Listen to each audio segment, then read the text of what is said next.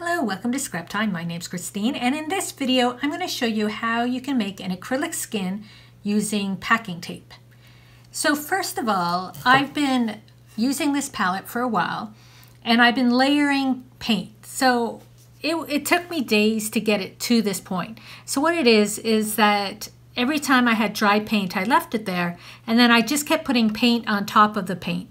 Now this isn't very thick, so if I was to try and peel it off, it would probably crumble because you can see down here, you can see it's starting to peel off, but it's not very thick because if you want a nice acrylic skin, you probably want it a little thicker if you were just going to peel it off. Now, if you don't know what an acrylic skin is, so acrylic paint is basically, it's plastic based. So when you it dries, you can peel it off and that part you peel off, they refer to it as an acrylic skin. So I'm going to show you though um, a way you can do this with packing tape. So as I said, I have my layers of paint here and because I knew I was going to do this, I then went over and just added these little dots to make it more interesting, just so I wouldn't have big blobs of single colors. And I have just clear packing tape. And what I'm going to do is put it right down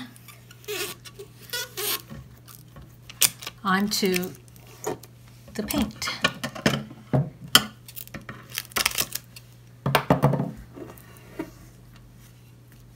I'm going to put one on this side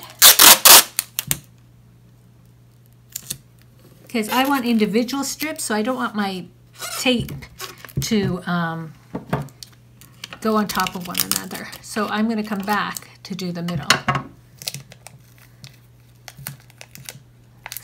Pulling that my tape over.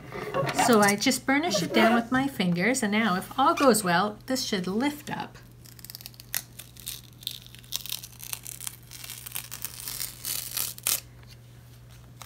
Ta-da! Now we have these open spaces here, so what you can do next, I have some foil, but you have to go on this side, so it'll probably be silver, but I'm fine with silver. And I'm just going to put my tape down.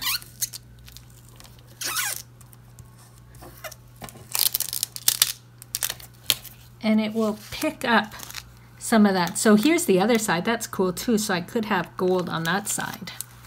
So I'm going to again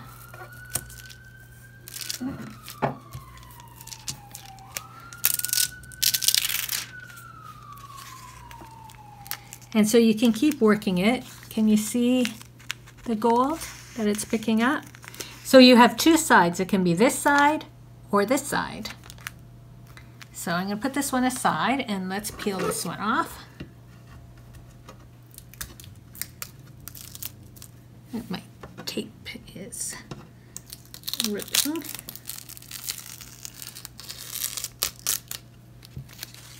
So there is that side. I don't like the white so much on that side, but that part there is interesting. So again, you can put it down on some foil.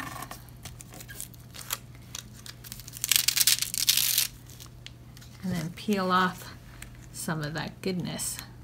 And I like how the foil, I don't know if you can see it, gets into these little crevices here too, and you get little specks.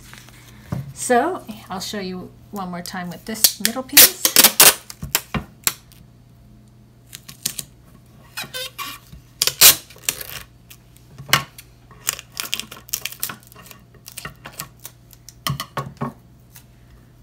And this is also a great way then to clean up your workspace.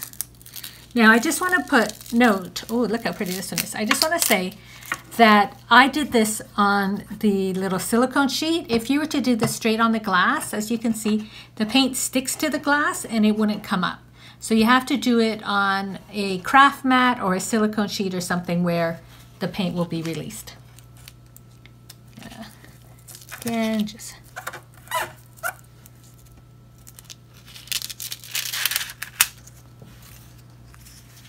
And I like this one, all this little in-between parts here. Very cool. So I'll finish off that one after, but here are three of my skins. Maybe this one will be on this side. Maybe this one will be on this side. And now I'm going to take these and um, play around with them and then I'll show you what I make. So I just made a couple really basic samples here. Gemma had wanted a bookmark. She really liked the design that it came up. So you can use either side. She liked the side with the little dots like this side versus this side, whereas this is the side I personally like. But anyway, this is the side she wanted. I just took a piece of paper and I used collage medium or gel medium to glue it onto the paper. Because this was the tape side, I didn't need to seal it. It was already sealed. But if you were using this side, make sure you just put a uh, layer collage medium over top of that as well to seal the paint. And then I made a little tag and it's just this little bit here I cut out. You can see there um, this little bit I cut off and it gives you just an interesting added little textures and colors and that to your project. So even though it's only a little bit on that, um, it just adds to it and gives you something else to use. So you can use these basically how you would use like paper or um, washi tape or adhesives, anything like that in strips, or you could probably cut it out and do different things with it. So there's a couple ideas of ways to use um, these bits that we, our older paint that we had on our, our acrylic skins, I guess in a sense, that we had going on.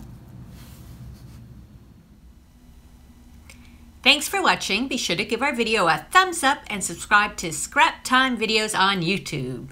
In the meantime, here are a couple other videos you might be interested in, in watching. See you next time. Bye-bye.